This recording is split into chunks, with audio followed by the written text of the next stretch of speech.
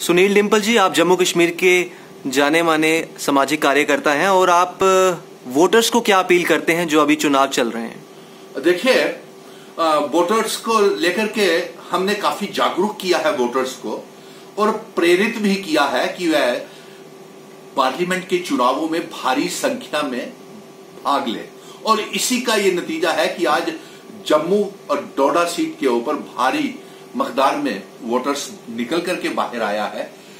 और हमने उनसे ये कहा है कि ये वोट जो है आपका एक भारत नए भारत का मज़बूत बनाने के लिए डाला जा रहा है। आपसी भाईचारे को इकट्ठा रखने के लिए ये वोट है। अपने सुरक्षा बलों को देश को एक मज़बूत भारत बनाने का आ, के लिए ये आपकी वोटिंग है। और आप अपना वोट जो है अपने अधिकार बेरोजगारी को दूर करने के लिए हालात को सुधारने के लिए, गरीबी को दूर करने के लिए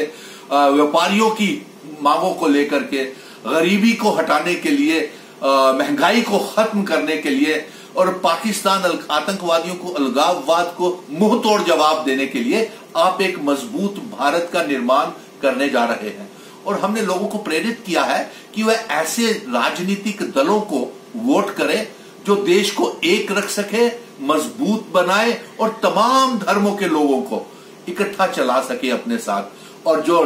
देश के, हमारे जम्मू कश्मीर के हालात को ठीक करे, बेरोजगारी को दूर करे और गरीबी को दूर करे और विशेष तौर पे जम्मू कश्मीर का जो विकास करे, ऐसे राजनीतिक दल कोई भी हो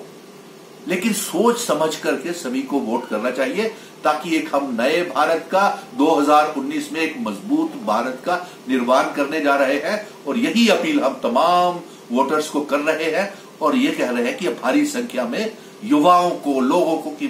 बाहर निकल करके वोट डालने ज़रूर आए।